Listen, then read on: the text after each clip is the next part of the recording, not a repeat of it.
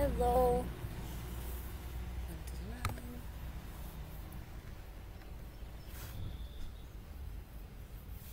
Hello everyone. I'm my thing's being really slow, so I'm seeing if it's working.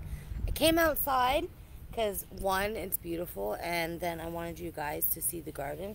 I have uh, lots of weeding to do, if you didn't know, but have some butternut squash coming up. Our pumpkins are coming up very nicely. We have our tomatoes coming up. We have um, our carrots are starting to seed.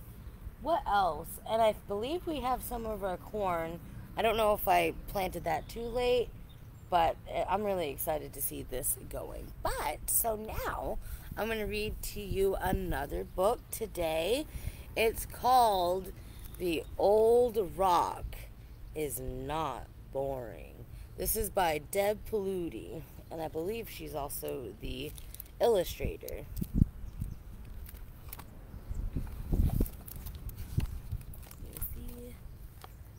Is that good, Stella?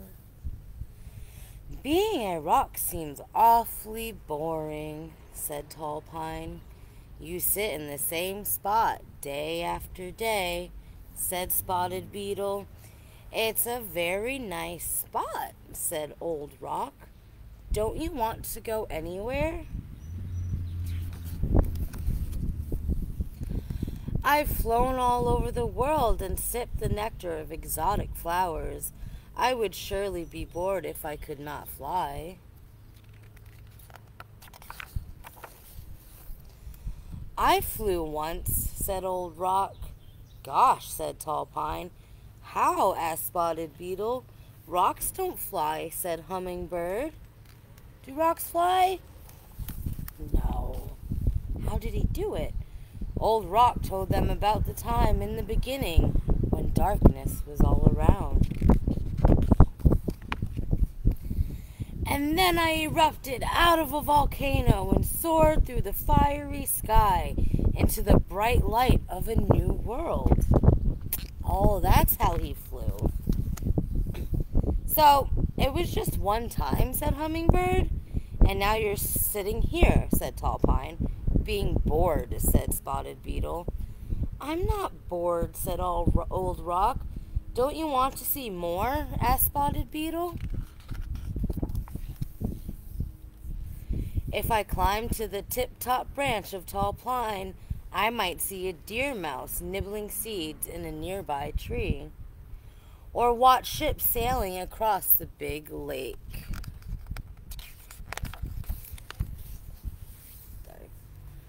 Old Rock said, I've seen a lot. Old Rock told them about the time a group of friendly dinosaurs lumbered by, munching every leaf in sight. Then, many years later, a not so friendly dinosaur came looking for a meal. Have you seen that? Nope, I haven't seen her. Thanks. He helped hide the tiny dinosaur.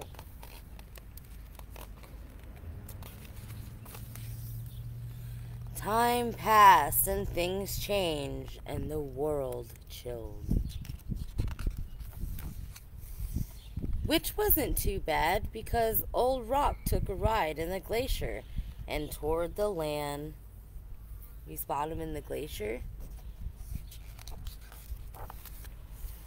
Once the glacier melted, it left me perched on top of a ridge and I could see the place where the sky touches the earth.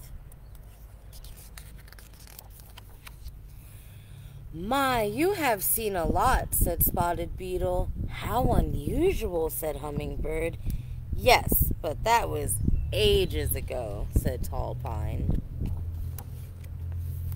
Hey, aren't you bored now? Don't you want to move?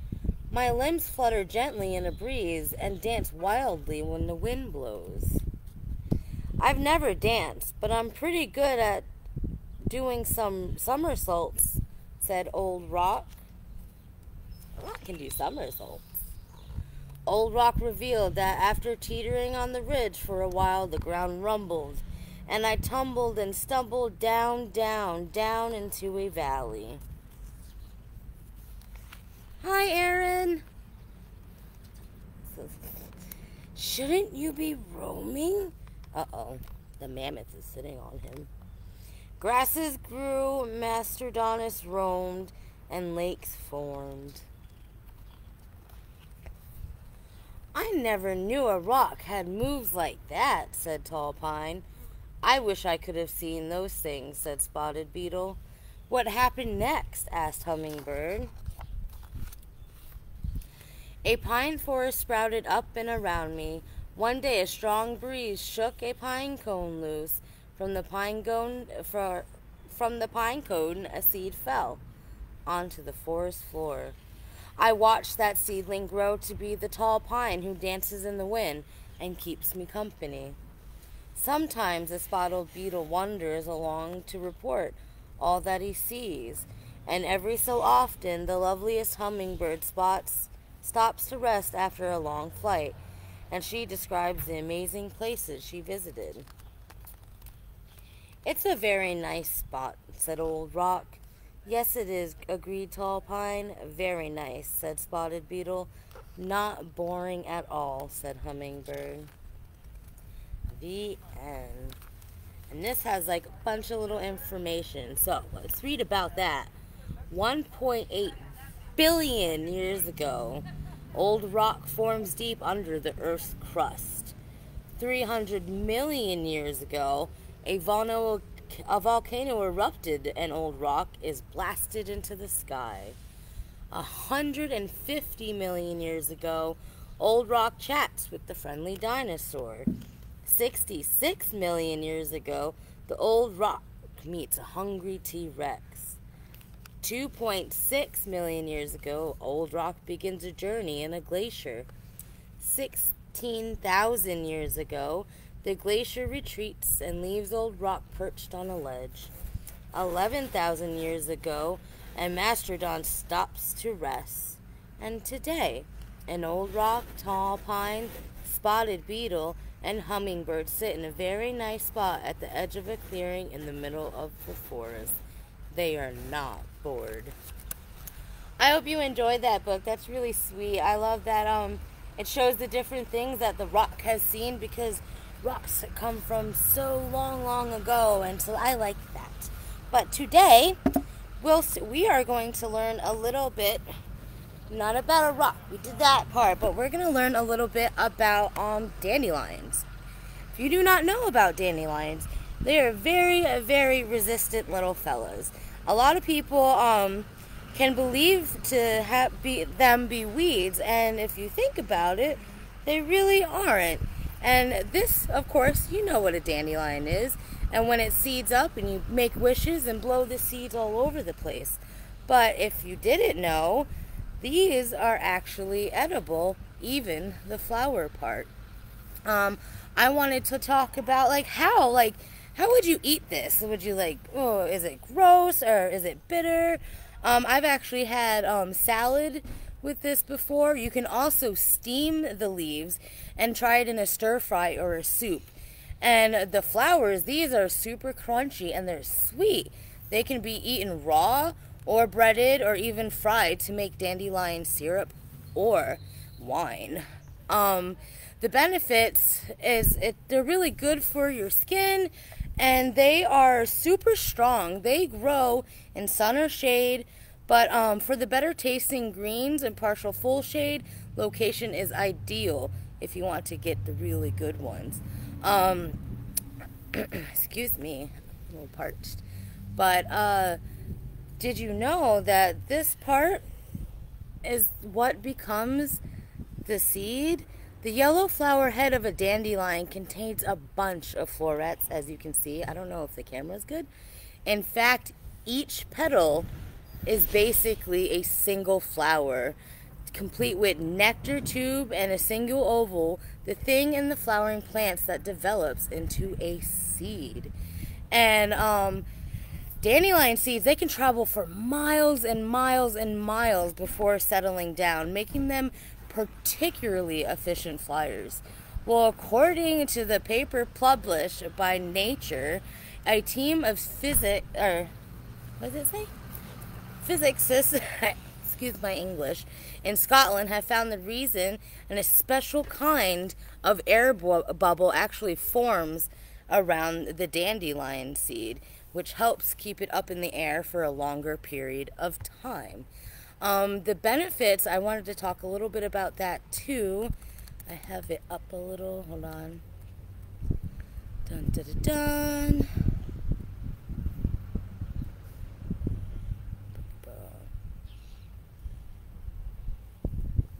I had like a good little article up and then I lost it. Oh no. It's really good for your health, I know that. Um, and good for your liver and good for, you can make it a tea as well. That's actually quite delicious. I like it like that. So I hope you guys actually like that little you know, information about the dandelion. If you come by to the library, we have um, the packets ready for pickup if you like to do a craft, and it will be based off the dandelion that I'm talking about, and it's really cute. You just put it together and do all the decorating that you want.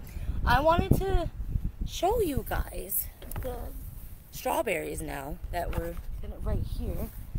Actually, Let's see if I can get a good view.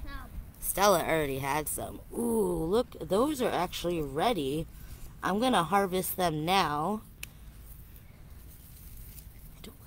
You got it? Is there another one? No, that's not just right. And then over there, our sunflowers are actually growing really nicely. I can't believe it. We got them when they were like at least like four or five inches tall and they're doing great. And let's see.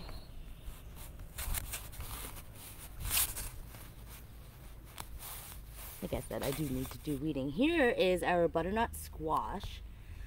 For next time, I think I'm actually going to make a trellis at some point so they can climb. We're going to have some eggplants over here, some corn over here, and that is our pumpkin. Our pumpkins are growing. Let's go see how our tomatoes are doing as well. We got these already started and they're looking like they're doing a really great job. What else? Those are actually our tomatillos. We also are going to be growing green beans. Those have started as well, as you can see. And then we have lettuces coming up, a magenta lettuce. We have our turnip starting to seed. We have white radishes. I'm really excited about that. I don't think I've actually ever had those before. We have a black beauty eggplant and snowy eggplant. And then we have finger eggplants. We're going to have sweet corn in the back and silver queen corn up in the middle right over here. We're going to have purple tomatillos like I said, butternut squash, the yellow tomatoes, jalapenos, carrots, and some red peppers. I hope you guys like that. Um, I haven't been able to show you guys in a while. Any anytime you guys stop by, see how we're doing. And um, also, I made a post yesterday. Excuse me. Um, about if you and your little one and wanted to come and actually join me in a live video.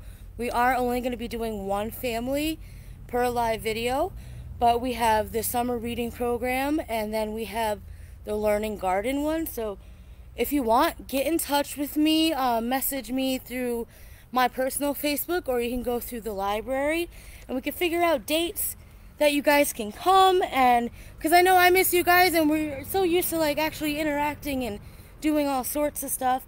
But I want you to know that you can still be involved. We'll keep a very safe social distance and we will, you know, make sure we have some fun while we're here, you know? So, all right, get in touch with me if you would like to do that. I love you guys. Good morning. Now I'm just seeing all your comments. Um, you have a beautiful day and go outside, have a picnic or go swimming. I think I'm going to go swimming later for sure. But yeah, bye guys. You have a lovely day and I'll see you um, next time. Remember, come back Wednesday and Friday for the live videos. Bye.